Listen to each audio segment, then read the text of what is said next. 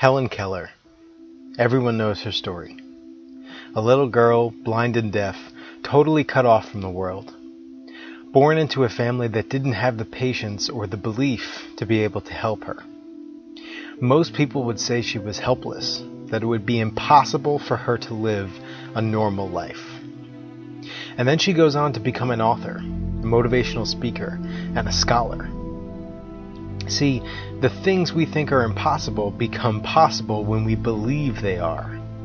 She couldn't hear all of the people who told her she wouldn't amount to anything. She couldn't see the heads shaking in disapproval when she was trying to learn to communicate. She had a spark inside of her that made her believe in herself, and beyond that, she didn't need anything. She didn't need people to believe it was possible because she believed. She didn't need people to expect her to become an international icon of possibility and inspiration because she expected it.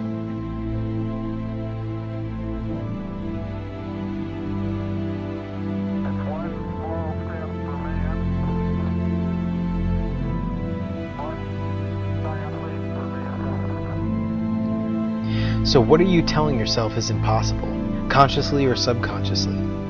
Do you believe you can earn a seven figure income next year? Live the life of your dreams?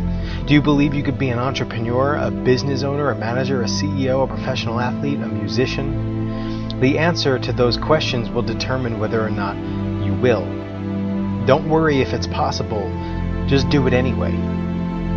The next time you think something is impossible, consider what you would have said if you had seen 12 year old Helen Keller struggling to communicate. Is it impossible? She was blind and deaf, and she still did the impossible. So, what is your excuse?